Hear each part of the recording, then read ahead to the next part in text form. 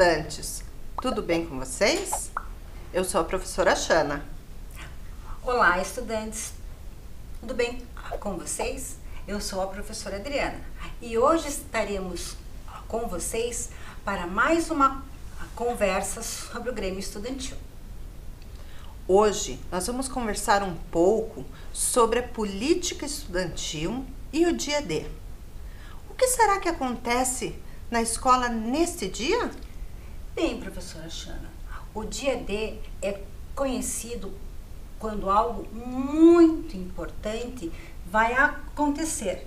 Neste momento, na escola, é o dia da eleição para escolha de uma chapa que vai representar, conduzir os trabalhos que os estudantes estão pedindo, querendo. Mas para que esse dia aconteça bem, bem organizado, precisa de muito planejamento, precisa de muita organização das chapas, do momento da eleição. Depois, é claro, que aconteceu o dia D na escola, vamos para a diplomação, que lá acontece a posse desses estudantes que foram eleitos. Então, professora, a política estudantil é um momento muito importante. Eu já pude acompanhar de perto as eleições do Grêmio das nossas escolas. É um dia muito empolgante, vibrante. Nossos alunos estão todos envolvidos nesse momento de eleição. Como é importante e como é saudável esse momento da política educacional para os nossos estudantes, não é mesmo, professora Adriana? Isso mesmo, é um dia aonde eu vou escolher quem me representa. Isso mesmo. Mas será que essa escolha, ela acontece lá na, no primeiro dia, na eleição? Só no momento da eleição? A política estudantil, professora Adriana, não acontece somente no dia da eleição como você mesma disse, é preciso muita organização e planejamento. A política estudantil acontece lá no começo, quando pensamos na formação das chapas dos nossos estudantes, porque a chapa do Grêmio Estudantil não pode ter só alunos de uma turma. É preciso ter representatividade dos alunos de todos os anos e das turmas. Então, esse movimento já é um movimento de política estudantil, em que os alunos precisam conversar, trocar ideias, debater e se constituir como uma chapa. Esse momento, toda a equipe gestora da escola está junto para organizar esse momento. E depois de organizar essas chapas, professora Adriana, o trabalho não termina aí. Sim. Continua é preciso que os alunos apresentem para os demais colegas a proposta que eles sentaram, pensaram, planejaram, discutiram entre eles, possam compartilhar com os demais estudantes da escola. Aqui vale um lembrete. A equipe gestora é quem organiza todo esse momento, professora Adriana, para que os alunos possam ir às salas, conversar com os demais colegas, mostrar suas ideias e discuti-la. Isto também é um momento político importante na vida dos estudantes. Então, professora Chana, este momento é organizado pela equipe gestora junto com os alunos que querem essa movimentação da representatividade? Sim, professora Adriana. Então, a equipe gestora, junto com esses alunos, vão organizar este momento. Sim, mas também é importante lembrar que é preciso ter o engajamento dos estudantes durante todo esse processo eleitoral. Porque não adianta só a equipe gestora organizar, pensar. Os protagonistas desses momentos são os estudantes. Então é importante que cada um dos nossos estudantes se envolva durante todo o processo eleitoral, todo o engajamento, seja ele no momento das chapas, na organização, na divulgação das propostas, no dia da eleição e até depois, quando as chapas já são eleitas. Muito bem. Então, depois que tudo isso está organizado, você, estudante, pode exercer a sua participação neste momento, neste momento de eleição do, do Grêmio Estudantil, não é mesmo? Com certeza, é importante participar efetivamente no dia da eleição. Então, esse processo é um processo democrático que, que acontece lá na escola como eleição de verdade? Sim, segue todos os protocolos e procedimentos de uma eleição oficial. E você sabe, professora Adriana, que essa eleição do Grêmio Estudantil não é a única eleição que acontece no ambiente escolar? Não, professora Xana. Que outros momentos de eleição acontecem no espaço escolar? Deixa eu pensar. Ah, do conselho de escola, da APPF, que é a Associação de Pais e Professores e funcionários da escola que lidam com as verbas recebidas, isso mesmo? Isso mesmo. E esta eleição também acontece para eleger os re representantes do Grêmio Estudantil. Sim, e também temos uma eleição muito importante na escola, que é a eleição de diretores. Nossos é, diretores são eleitos pelo voto da comunidade. Muito bem. Processo democrático, né, professora Chama? Processo democrático que não começa e não se encerra na escola, mas faz parte da vida dos nossos estudantes. Então, estudantes, vocês sabem como realmente funciona a eleição? Vamos conhecer um pouquinho mais sobre isso? Convido vocês para assistirmos a um vídeo do plenarinho. Vamos lá? Vamos sim. Você sabe o que é uma eleição? É o processo de escolha feita por meio de votação em que os cidadãos decidem aqueles que serão os seus representantes e governantes. Já o voto é um direito dos cidadãos. É com ele que a gente manifesta a escolha que faz. A primeira eleição de que se tem registro no Brasil foi em 1532, na Câmara Municipal de São Vicente. Naquela época, só votavam homens brancos que tinham dinheiro, terras ou participavam da vida militar. A partir de 1824, o voto passou a ser obrigatório mas só votavam homens com mais de 25 anos, alfabetizados e que tivessem uma renda determinada. Em 1932, foi a vez de as mulheres conquistarem este direito. Foi só em 1988, com a nossa Constituição Cidadã, que brasileiros e brasileiras, a partir de 16 anos, puderam ir às urnas. Ir às urnas para quê? Para escolher presidente, governador, prefeito, senadores, deputados federais, estaduais e vereadores. Já deu para entender melhor porque é tão importante saber mais sobre eleição e voto, não é?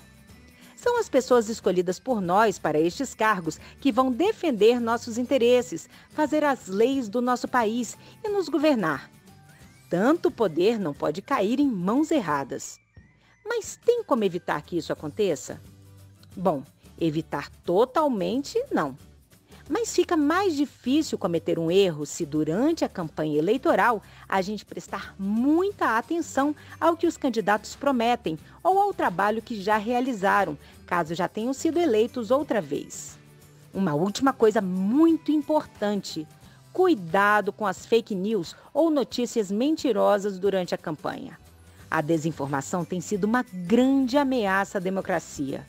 Então, estudantes, esse vídeo nos traz informações importantes sobre a nossa participação no processo democrático na escolha dos nossos representantes, seja nas eleições do Grêmio Estudantil ou nas eleições oficiais para elegermos os nossos representantes.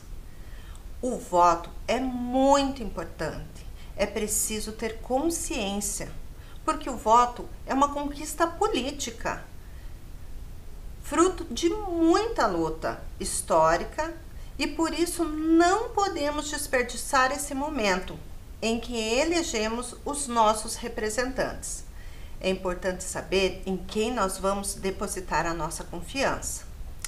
Então, professora Xana, é muito importante que o estudante lembre que as eleições que acontecem lá na escola, no nosso Grêmio Estudantil, são iguais às eleições municipais do nosso estado e federal.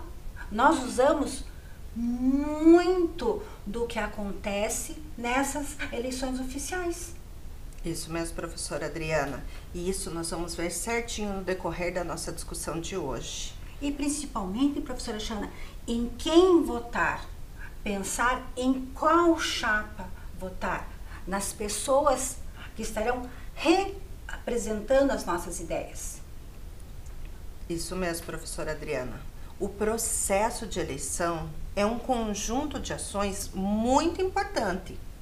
Ela não pode ser vista como uma ação banal, uma ação cotidiana. É importante sabermos que nesse dia da eleição, conhecido como dia D, é um momento em que nós também denominamos como pleito eleitoral. Você provavelmente já escutou essa palavra pleito eleitoral em outros momentos. E isto é um movimento que acontece durante a eleição. Então é um movimento de responsabilidade de todos? Sim. E para que a eleição aconteça, professora Xana, é só eu chegar na escola e falar hoje é dia da eleição? Creio que não, né, professora Adriana? Creio que tem muita coisa que antecede esse momento. Para que esse momento aconteça, ele sim exige muita preparação e planejamento para que tudo aconteça da melhor forma, não é mesmo, estudante? Tudo requer que eu pense no local, nos materiais que vamos usar, e isso é planejamento, não é mesmo, professora Xana? Sim. Vamos ver agora, estudante, então, como deve ser organizada as etapas da nossa eleição? Vamos lá?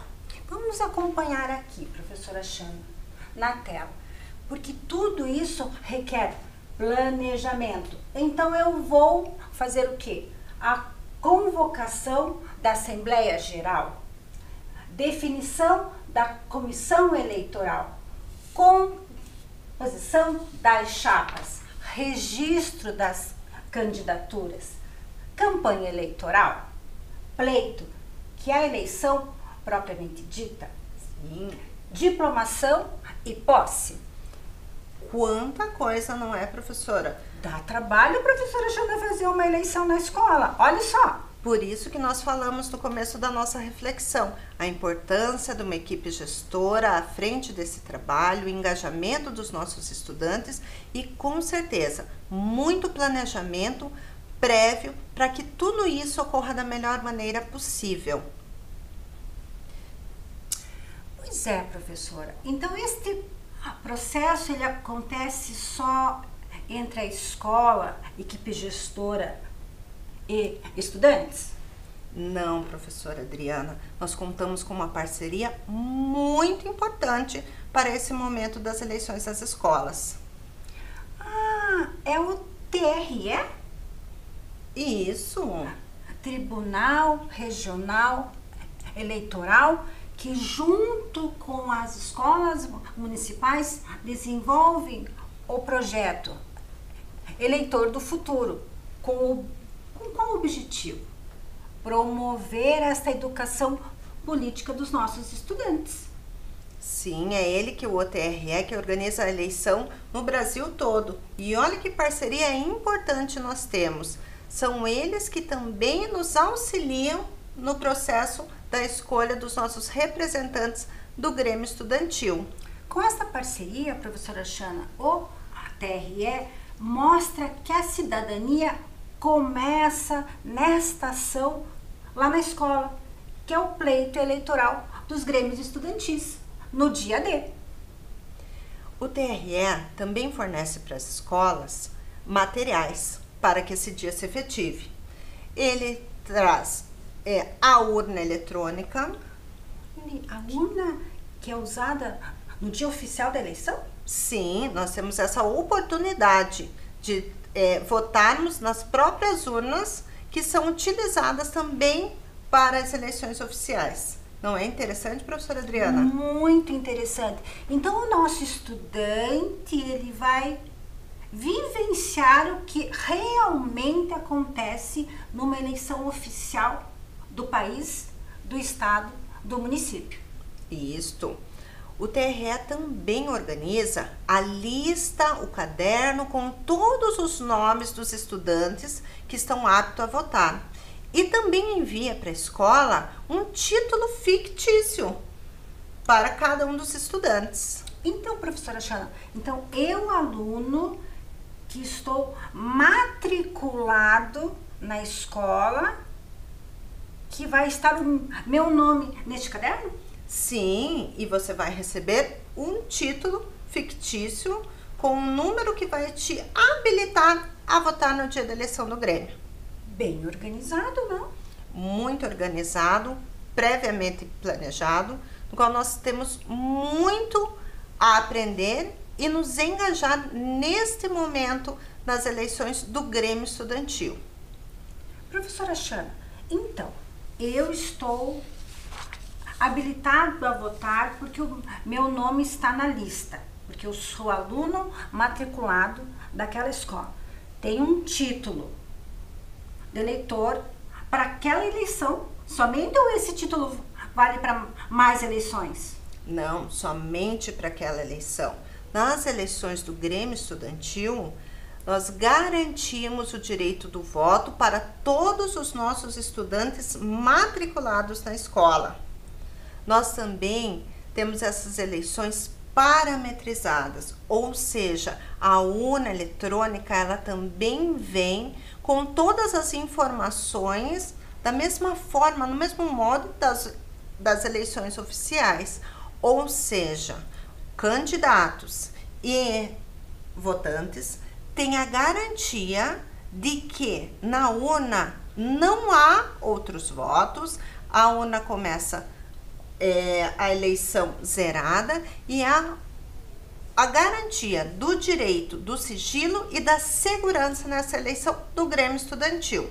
Então, professora Xana, eu, eu posso afirmar que nesta urna eletrônica não tem votos? Sim, mas quem vai comprovar isso, nós vamos falar daqui a pouquinho, lá quando nós formos falar sobre as urnas. Vamos mostrar para os nossos estudantes como funciona, professora? Vamos. Nesse momento, nós vamos trazer um vídeo muito interessante da professora Mário Gala. Ela é funcionária do Tribunal Regional Eleitoral do Paraná e ela vem fazer uma fala conosco sobre o projeto Eleitor do Futuro. Vamos lá? Olá, eu sou a Mário Gawa, sou servidora do Tribunal Regional Eleitoral do Paraná e quero falar para vocês sobre a parceria entre a Secretaria Municipal da Educação e o TRE, uma parceria para a implementação de projetos de cidadania, particularmente o projeto Eleitor do Futuro. Projeto pela qual a gente tem feito grandes aprendizagens, particularmente para o futuro eleitor, o estudante. Uma das grandes propostas do projeto é compreensão da importância da política no nosso dia a dia a importância da política na nossa vida. O que propõe o projeto é educação política, educação para a política. A política está presente muito antes do nosso nascimento. Afinal de contas, para nascer você precisa de um bom hospital, você precisa de postos de saúde, garantir atendimento à mãe, à criança, posteriormente escolas para garantir um ensino de qualidade para essa criança. Logo, a política faz parte de cada momento, cada etapa da nossa vida. Por isso a importância de uma participação política ativa, de compreender a política como uma oportunidade de melhorar as condições de vida da população. Isso requer participação ativa, isso requer cidadania, isso requer educação política. É o que propõe o projeto Eleitor do Futuro. Muito interessante essa fala da Mário Gawa. lá do Tribunal Regional Eleitoral. Por meio do projeto Eleitor do Futuro, é possível que os nossos estudantes exerçam a sua cidadania na escola. E você, estudante, já participou do projeto Eleitor do Futuro? Sabe como ele acontece? Se você ainda não participou, converse com a equipe gestora da sua unidade para que vocês possam participar e, com isso, exercer a sua cidadania nesse projeto tão interessante. Que ele vem mostrar como essa participação desenvolve a cidadania. Mas vamos ver então, professora Xana, como isso acontece lá na escola. Então é um momento que requer muito planejamento, organização, para que tudo aconteça da melhor forma, de uma forma tranquila. Então, vamos pensar? Vamos sim. Um espaço adequado seria aquele onde eu posso organizar a disposição de mesas, cadeiras, que tem uma boa iluminação, que tenha energia elétrica, pois neste local será montada a urna eletrônica com sua cabina. Além do que tem que ser um espaço onde as pessoas possam entrar e sair com todos os cuidados de hoje. Isso mesmo, professora Adriana. Os espaços são importantíssimos para as nossas eleições. Além de toda essa organização do mobiliário, é preciso também mobilizar as pessoas, professora Adriana. Uma eleição se faz só com mobiliários? Com a urna? Não, né? Cabina? Também não, é importante, mas não é a única. Precisamos organizar quem serão esses estudantes que farão parte da, da mesa receptora de votos. Sim, como na eleição oficial. Então, nós vamos ver aqui. Estudantes. Mas quem são esses estudantes no dia? Mesários, presidente de mesa, primeiro secretário e segundo secretário. E o que eles fazem? Vamos descobrir agora. Temos mais uma situação, professora Xana. Esse presidente de mesa vai organizar o espaço, vai estar como aqui na foto, recebendo os nossos eleitores estudantis, conferindo se aquele estudante está habilitado para votar naquela sessão. Isso mesmo, professora Adriana. O presidente, ele é a maior autoridade da sessão eleitoral ele é o responsável por iniciar e encerrar a votação, além de acompanhar todo o processo eleitoral, do começo ao fim. Mas ele não é o único responsável. Como nós vimos, tem os mesários e tem os secretários, que juntos têm algumas funções a desempenhar nesse dia importante. Vamos ver? Então, o primeiro secretário, segundo secretário, mesário, vão observar se aquele estudante com o título fictício está na lista de votação, que é o caderno de votação, que é emitido pelo TRE. Depois que ele verificou isso, a professora Chanel vai digitar no terminal qual é o número desse título que vai habilitar ao estudante votar. Então ele vai lá na cabina eleitoral e digita o número da sua chapa escolhida, que o voto, lembrando, secreto.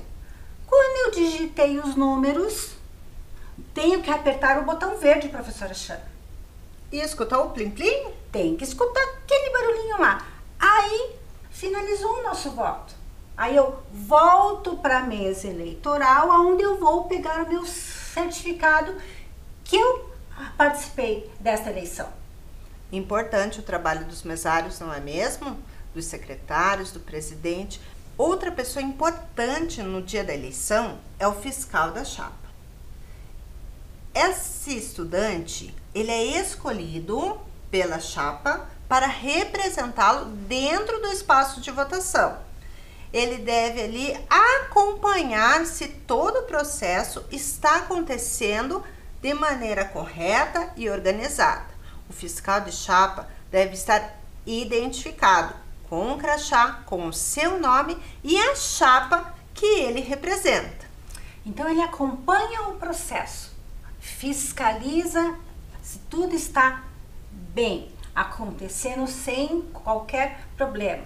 Mas afinal, professora Xana, quem vota na eleição do Grêmio Estudantil? Quem vai eleger a chapa? Essa informação é uma informação muito importante. E a gente consegue encontrar essa informação num documento chamado Estatuto do Grêmio Estudantil. Lá no Estatuto do Grêmio Estudantil, nos diz que todos os estudantes podem votar, que somente os estudantes é quem vota. E também, professora, é muito importante lembrar que cada estudante deve votar no horário em que está matriculado, no seu horário de aula. Isto.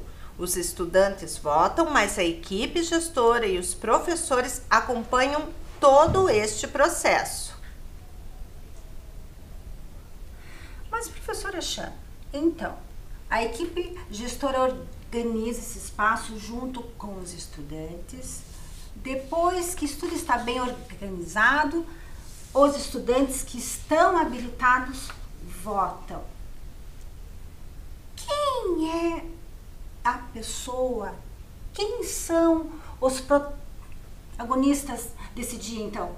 Os estudantes.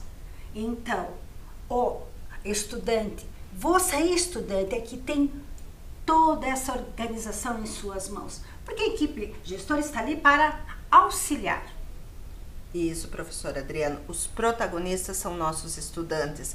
Eles fazem a participação, se envolvem na eleição, cumprindo direitos e deveres, escolhendo seus representantes e assim aprendendo a exercer a sua cidadania. Porque a escolha deve ser consciente. Pensar muito bem em quem eu estarei escolhendo para me representar e ele representa todos os estudantes da escola, como nós já falamos, não é apenas de uma turma, e sim da escola. Isso mesmo, professora Adriana. Mas para que todo esse processo de eleição aconteça, é preciso que haja também um edital. Esse edital, ele é organizado em conjunto com a equipe gestora logo no começo do processo eleitoral é importante fazer uma assembleia, reunir todos os estudantes para que a gente possa organizar, escrever, colocar em edital a público o que é possível e o que não é possível durante a eleição, antes da eleição e depois da eleição. E você, estudante, já participou de uma assembleia em que foi discutido o edital de eleição do Grêmio?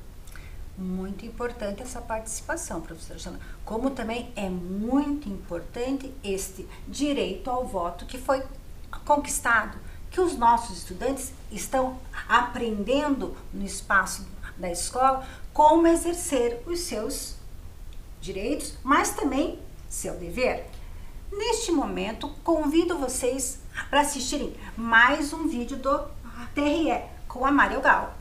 Votar não significa apenas apertar botões na urna eletrônica. Significa que eu estou tomando parte das decisões políticas do país, do estado, do município. Significa que eu estou fazendo parte de escolhas para um projeto de sociedade. Eu estou escolhendo um candidato que vai implementar políticas para a nossa vida, para o nosso dia a dia, que vai colocar em prática ações que podem mudar a vida da população. Por isso, a importância a responsabilidade de refletir sobre o voto, de pensar, de escolher com cuidado o candidato. Votar não é apenas um ato mecânico, mas é um ato político. É escolher que rumo eu quero para nossa vida. Que interessante o vídeo. Gostaram do vídeo, estudantes? Então, é necessário e muito importante escolher e pensar em quem votamos. Isso mesmo. E agora nós vamos conversar um pouquinho sobre a organização propriamente dita do momento eleitoral. Então, nós já vimos que é preciso ter um local, que é preciso ter pessoas que estão organizadas, que sabem o que deve fazer, como todo esse momento vai acontecer. Porém, nós também falamos que nós contamos com a parceria do TRE. Ele nos envia a urna. E quando nós ligamos a urna eletrônica, primeir, o primeiro documento que essa urna emite é um documento chamado zerésima. Zerésima? O que é isso, professora Xana? Tem alguma coisa, tem relação com o zero? Sim, professora Adriana. Zerésima é o documento que contém toda a identificação da urna antes de começar a votação é o presidente que realiza a impressão dela e comprova no registro que não há nenhum voto na urna, por isso que é zerésima. Ele também comprova neste documento todos os nomes das chapas que estarão lá para que possam começar a eleição.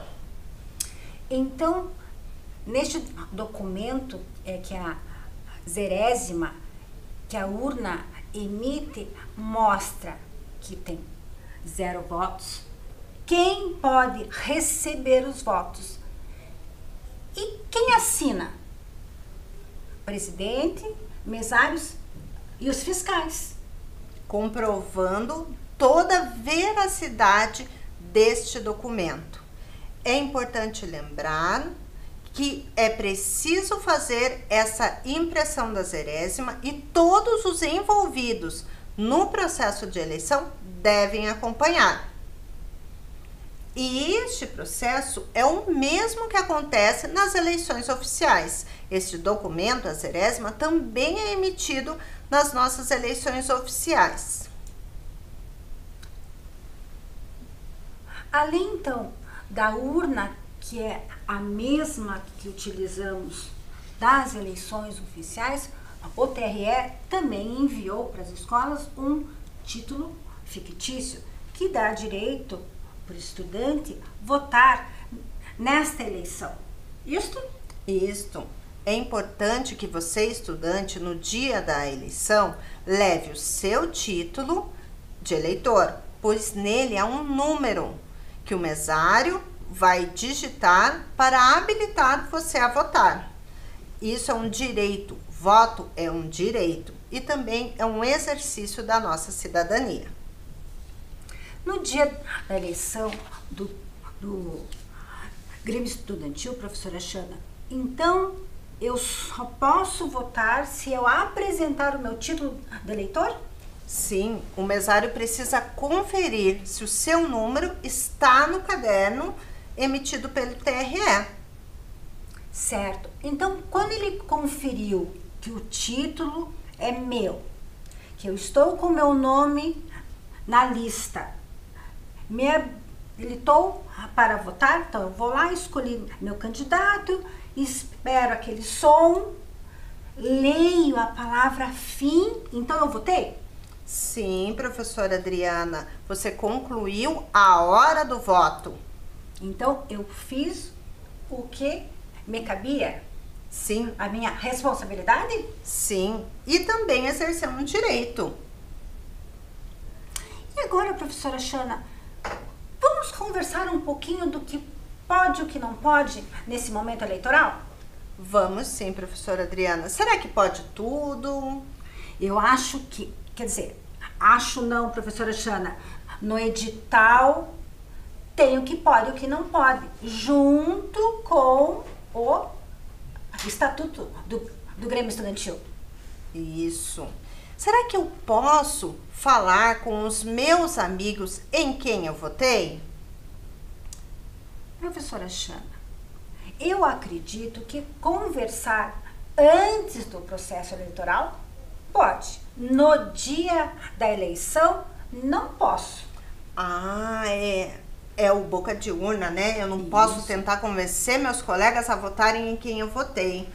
Mas a discussão sobre a votação é saudável e deve acontecer. Sim, antes do dia, na campanha eleitoral, porque é onde eu vou apresentar as minhas propostas. Aí sim, podemos conversar, discutir quais são as melhores propostas. Mas eu posso entregar camiseta no dia para os meus amigos? Não, professora Adriana, você não pode dar nenhum tipo de brinde, nem no dia da eleição e nem na campanha. A campanha deve ser um momento de discussão coletiva, não de troca de objetos pelo voto. Não posso, então, professor Xavier? Não, nem nas eleições Nem um Grêmio. chaveirinho? Não, não. Nem uma caneta com o meu nome? Também não, professora. Para lembrar do meu nome enquanto candidato, não posso fazer isso? Não, o estudante precisa anotar ele mesmo num papelzinho e levar o número da chapa em que ele vai votar lá no Grêmio Estudantil no dia. Ah, professor, mas eu posso, então, eu lá na urna tirar uma selfie? Não, professora Adriana, de jeito nenhum. Não posso mostrar quem eu votei, professora Xana? Não. Mostrar que eu exerci minha cidadania? Não, professora Adriana, você tem que exercer o seu direito, mas o voto é secreto. A conversa, a discussão, tudo isso é saudável antes do momento da eleição. Nada de ficar tirando foto e postando em redes sociais, nem compartilhando com seus amigos. Ah, mas eu vou insistir ainda. Eu posso tentar convencer aquele meu colega que está na dúvida, que disse que, é, que vai votar em branco. Eu posso tentar dizer para ele votar no, no meu candidato? No dia da eleição? Não, professora Adriana. Todo esse processo de convencimento é durante a política estudantil antes da eleição. No dia, não. E é através disso que eu tenho que pensar em quem eu vou votar. Isso, eu tenho que pensar e eu posso e devo incentivar os meus amigos a votarem. O voto é um exercício importante. É importante que nós possamos escolher os nossos representantes. Então, todo esse movimento de conversa, de analisar propostas, eu preciso fazer, eu preciso incentivar, engajar meus amigos a votarem. É através do voto que a gente vai aprendendo a exercer a nossa cidadania. Eu posso, então, incentivar a escolher uma chapa. Sim, antes da eleição. Eu posso, professora Xana, pedir para aquela professora falar da minha chapa na sala de aula, na aula dela? Não, professora Adriana. Mas é campanha. Não, professora Adriana. Os estudantes são protagonistas deste momento. Os professores e a equipe gestora devem auxiliá-los, estar junto e não fazer por. Se eu quero convencer o meu amigo, se eu quero mostrar que a minha chapa tem boas ideias, eu vou fazer isso lá no momento anterior à eleição, lá nas propostas, na apresentação das propostas do Grêmio Estudantil. Então, os professores não podem falar qual é a melhor chapa ou qual seria a melhor chapa? Não, não, porque o protagonismo é de quem, professora Adriana? Dos estudantes. Isto mesmo. E terminando esse processo de eleição, nós já vimos lá que no começo a urna emite a zerésima. E para terminar, será que a urna emite algum documento? Acredito que sim, professora Chana. Emite sim, professora Adriana. Emite o boletim de urna. No boletim de urna constam informações importantes, como o total de votos da chapa, o total de votos nulos e brancos, o total de comparecimento em votos e a hora do encerramento da eleição. Mas será que termina assim a eleição? Não, professora Chana. Depois que que é emitido o boletim de urna, que é o BU, temos que registrar em ata tudo que aconteceu nessa sessão eleitoral. E esta ata é muito importante que tenha nome da escola, número de votantes, quem são as chapas que concorreram e quem ganhou e quantos votos foram. Votos brancos e nulos também.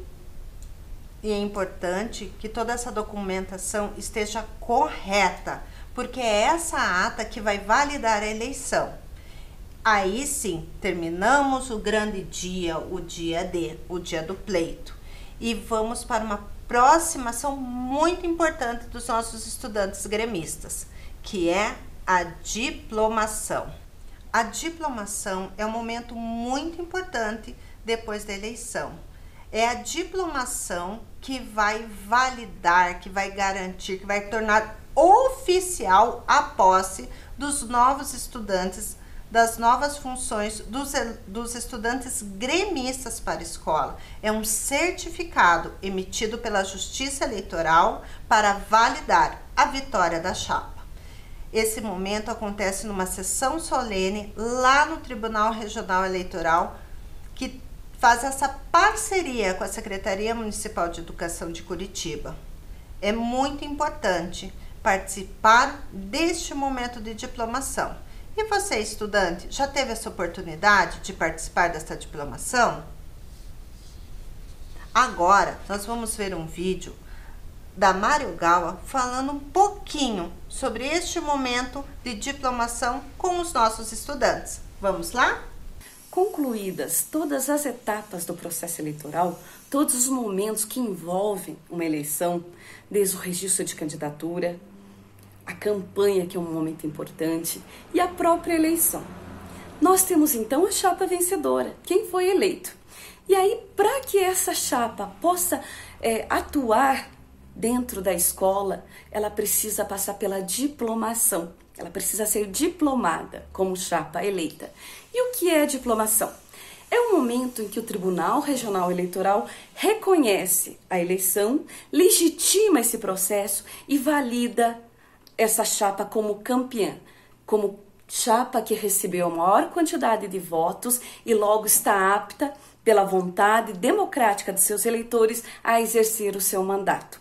É um momento extremamente importante, é um momento também em que todos os integrantes do Grêmio assumem ali publicamente o seu compromisso, a sua responsabilidade como chapa eleita em pôr em prática as ações, as promessas de campanha, as propostas, não só para aqueles que votaram neles, mas para todos os alunos da escola. Então é um momento em que você está legitimando a chapa eleita e está também cobrando o compromisso dessa chapa. É um momento bastante importante e emocionante. É importante que todos participem da diplomação. Gostaram do vídeo, estudantes? Quanta coisa realmente é necessário para que aconteça a eleição até acontecer a diplomação, né, professora Xana? Muita. Hoje conversamos um pouquinho com vocês sobre todas essas etapas que precisam de envolvimento de todos para que possamos ter eleições sérias, tranquilas e que você, estudante, possa exercer o seu direito. É muito importante a sua participação como protagonista. Isso mesmo. Esperamos que vocês tenham gostado e até a nossa próxima reflexão. Até!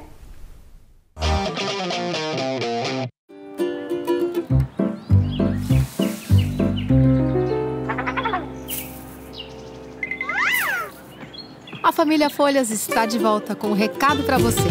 Descartar errado, nem pensar. Tome cuidado ao separar. Lixo que não é lixo não pode misturar. Faça sua parte, vamos lá. Todos juntos cooperar. O mundo vai agradecer se você se reciclar. Lixo que não é lixo, não vai pro lixo. Separe. A família Folhas voltou para ajudar todos os curitibinhas a separar melhor o lixo. Esse é